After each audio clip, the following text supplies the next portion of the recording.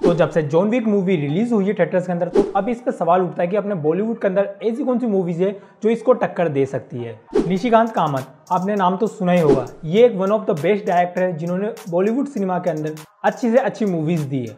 ना ही मूवीज़ बल्कि उन्होंने अपने टैलेंट की वजह से, अपनी एक्टिंग की वजह से, उन्होंने डायरेक्शन के साथ एक्टिंग भी और अपनी जो स्टोरी टेलिंग है, इतनी माइंड ब्लोइंग की कि उन्हें हर बार, हर मूवी के लिए कोई ना कोई अवार्ड मिल ही जाना चाहिए।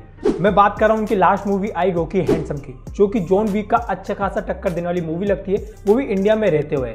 इंडियन स्टोरी के साथ इंडियन कल्चर के साथ और इंडियन बॉन्डिंग के साथ ये मूवी आपको अच्छा खासा मज़ा एंटरटेनमेंट और जॉन वीक वाला याद ज़रूर देगी। देखिए, निशिकांत कामत आज हमारे बीच में होते ना तो मैं गारंटी से कहता कि इसके और भी पार्ट्स आते और ये मूवी आगे एक्शन करती, शायद इसका यूनिवर्स भी बन सकता था। देखिए, अगर आप नहीं जानते कि निशिकांत कामत कौन है डायरेक्टर कौन है तो मैं बता दूँ, इन्होंने मदारी और दृश्यम जैसी मूवी डायरेक्ट की है। साथ ही में इन्होंने फोर्स मूवी भी डायरेक्ट की है। रोकी हैंडसम देखिए मूवी आपको मैं हाईली रिकमेंड करूँगा। आप जाके अभी जाके वॉच कर लीजिए, आपको मिल जाएगी आसानी से। आप थोड़ा सा ढूंढिए, प्रचार कीजिए, आपको मिल जाएगी। सबसे बड़े जो इसके पॉजिटिव पॉइंट है, मुझे बहुत अच्छा लगा और मुझे इस पे अगर मार्क्स देने हुए ना, मैं फुल ऑन मार्क्स दूँगा। वही मैं बात करूँ उनकी कास्टिंग को लेकर देखिए विलन को जिस तरह से कास्ट करना चाहिए निशिकांत कामत ने बिल्कुल उसी तरह से को कास्ट किया है। खासकर जिस तरह से वो विलन के रोल के अंदर दिखते हैं और उनकी एक्टिंग मालूम पड़ता है कि बंदे के अंदर स्किल्स है टैलेंट्स है और लोगों को हायर करने वाली एबिलिटी है इसके अंदर। और हमको इस पॉइंट पर नज़रअंदाज नहीं करना चाहिए कि जोन अब्राहम ने भी अपना यहाँ पे अच्छा खासा काम दिया है।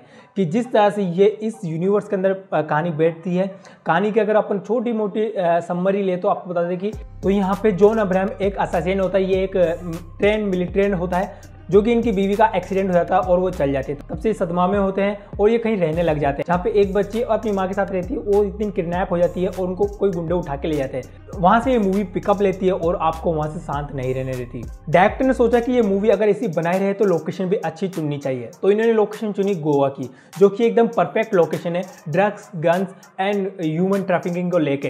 देखिए, जिस तरह से इन्होंने कास्टिंग भी की है, उसी तरह से इन्होंने लोकेशन भी अच्छी चूज़ की है।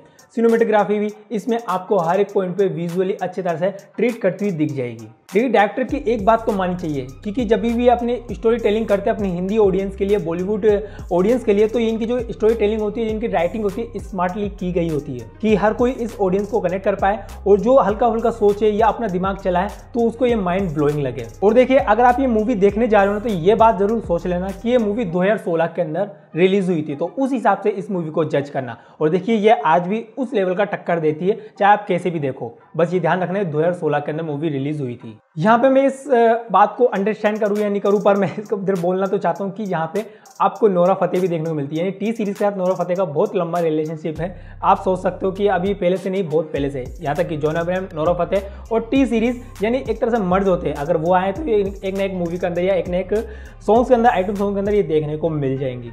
रॉकी हैंडसम की जो सॉन्ग्स हैं, हमको ज़्यादा डिस्टर्ब तो नहीं करते, अच्छे खासे अच्छे खासे रहते डायलॉग भी इसके अच्छे खासे हैं। आपको ऐसे बिना बात के डायलॉग्स नहीं लगेंगे, मगर जोन अब्राहम के कम डायलॉग्स जो भी है, खतरनाक है। देखिए, अगर आप इंडियन फ़िल्म मेकर की क्लास ले रहे हो, कुछ सीखना चाहते हो तो निशिकांत कामत से सीखो कि किस तरह से एक कम बजट में रहते हुए अच्छी खासी मूवी कैसे बनाई जाए। ये इनका एक टैलेंट है। और देखिए, ये मूवी को जिस तरह से सीरियस एंड ग्राउंडेड रखते हैं ना, कि आप मूवी को बिल्कुल साइलेंस देखते हो और आप सोचते हो कि यार, अगले पॉइंट पे क्या होने वाला है। देखिए, बस मैं इतना कहना चाहूँगा, ऋषिकांत कामत ने जितनी भी मूवी बनाई, मदारी हो गई या दृश्यम होगी और लास्ट मूवी इनकी 2016 में ये रोके हैंडसम होगी, ये सब बढ़िया है। और मैं शायद बोल सकता हूँ कि अगर ये आज हमारे बीच में होते ना तो रोके हैंडसम का यूनिवर्स तो बन रहा होता और इसके और भी पार्ट्स सारे होते, क्योंकि मूवी को उन्होंने पता ही ऐसे पॉइंट पर खत्म किया था।